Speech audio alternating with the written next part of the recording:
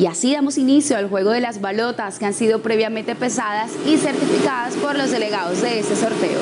Juguemos en la fantástica y mucha suerte para todos.